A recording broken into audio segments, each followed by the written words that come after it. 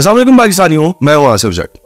पंजाबी की कहावत है कहते हैं कि घोड़ा ये मान रखी तेज रफ्तार उत्ते भार खिचड़े चा मुकाबला नहीं संडे नाल। यही हुआ डकी भाई के साथ। मशहूर यूट्यूबर व्लॉगर डकी भाई चार करोड़ रुपए का तकरीबन अपना नुकसान करते हैं।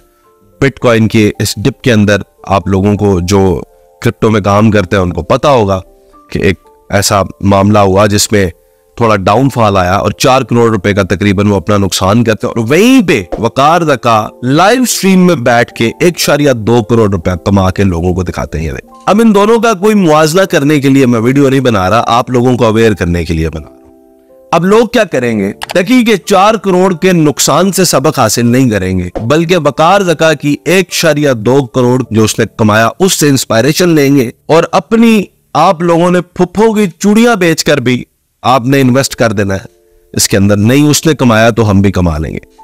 It is not that easy जिन भी लोगों को यह लगता है कि ग्राफ के ऊपर जाने से पैसे आ जाते हैं और ग्राफ के नीचे जाने से पैसे आपके चले जाते हैं तो it is not that easy ये एक बड़ी साइंस है। इसके पीछे वजूहत होती हैं।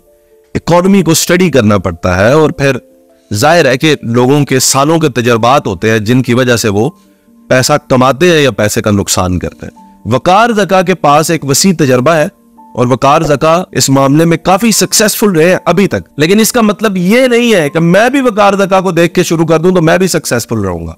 जिस तरह अगर कोई और बंदा अच्छा रेस्टोरेंट रन कर रहा है तो मैं उसको देख के रेस्टोरेंट तो नहीं खोल सकता। वो मेरी एक्सपर्ट ही नहीं। मैंने लोगों को बेवकूफाना तौर पर देखा है फॉरेक्स में और इन जगहों में पैसे लगाते हुए। आप लोगों से सबसे पहली तो मेरी गुजारिश है कि इन चीज़ों से दूर ही रहे। कारोबार वही अच्छा होता है जो फ़िज़िकल बिज़नेस हो। लेकिन अगर अभी कोरोना के दिनों में ये देखा गया कि फ़िज़िकल बिजनेसेस को नुकसान भी हुआ और ऑनलाइन की दुनिया में लोगों ने कमाया तो आप लोग ज़रूर करें, लेकिन उसमें भी तिजारत में आए, कपड़े की तिजारत करें, गुड करें, और चीज़ें हैं जो आप बेचें ऑनलाइन बेचें।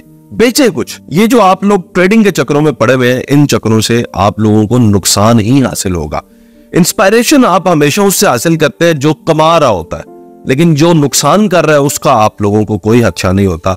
जुल्कुनैन और कबर के साथ भी कुछ इसी तरह का हुआ था हाथ हुआ था और उससे भी लोगों ने कोई सबक हासिल नहीं किया दड़ा दड़ा आप लोग अपना पैसा जो है सालों की मेहनत होती है मिनटों में उड़ा के आप लोग बैठ जाते हो सबक सीखने के लिए अपने इंटरेस्ट को आप लोग डेमोज अकाउंट होते हैं आप उन पे जब भी काम करते हैं आपको ये लगता है यार ओदे देते मैं एक लख डॉलर कमा लिया और डेमो ਤੇ ਹੀ ਕਮਾਇਆ ਤੁਸੀਂ ਜਦੋਂ ਤੁਸੀਂ ਰੀਅਲ ਅਕਾਊਂਟ ਤੇ ਸ਼ਿਫਟ ਹੋਣਾ ਹੈ आप लोग हमेशा लॉस की तरफ जाएंगे और यही इन सिस्टम्स की तदाबीरें होती हैं कि वो नए यूज़र को एंड यूज़र को अपने पास लेकर आए और फिर उसको लूटे।